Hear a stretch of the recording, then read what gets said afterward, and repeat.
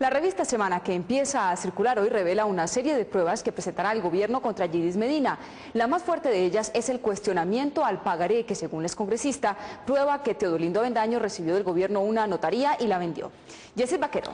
María Cristina, Semana publica el mismo pagaré pero con una sola firma, la de un médico y exconcejal de Barranca Bermeja, que asegura que el documento no respaldaba la venta de ninguna notaría, sino de una deuda que tuvo con Gidis Medina. Un indicio sin duda importante que vuelve a generar dudas en el proceso de la Gidis política. Una de las piezas claves en el proceso contra Teodolindo Avendaño es este pagaré. Según Gidis Medina, el documento firmado por el notario 67 de Bogotá, Luis Camilo Omeara, y por Jorge Luis Escalante Viana, demostraría que Teodolindo Avendaño vendió la notaría que el gobierno le habría dado a cambio de su ausencia en la votación que aprobó la reelección presidencial. Sin embargo, la revista Semana publica un pagaré en blanco con el mismo número, firmado únicamente por Jorge Luis Escalante, un médico y exconcejal de Barranca Bermeja.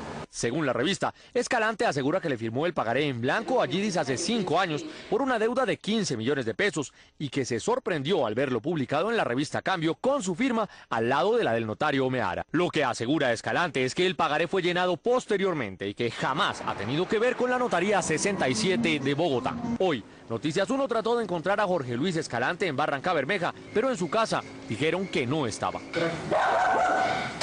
El nuevo hallazgo pone nuevamente en tela de juicio la credibilidad de Gidis Medina. Sin embargo, en el incidente de la Notaría 67 figuran también una serie de consignaciones efectuadas a las cuentas de Teodolindo Avendaño y su esposa. Entre los depositantes están el asesor de Gidis Medina, César Guzmán, Milton Contreras, alto funcionario de la Superintendencia de Notariado y Registro en la época, y Nelly Núñez Rodríguez, una empleada de la Notaría 67 cuyo titular es Luis Camilo Omeara. La información también dice que Gidis Medina y Teodolindo Avendaño tenían negocios desde 1998. Sin embargo, en sus versiones ante la Corte Suprema de Justicia, los dos han dicho que se conocieron en el año 2004, por los días en que llegó a la Comisión Primera de la Cámara el proyecto que reformó la Constitución para aprobar la reelección presidencial.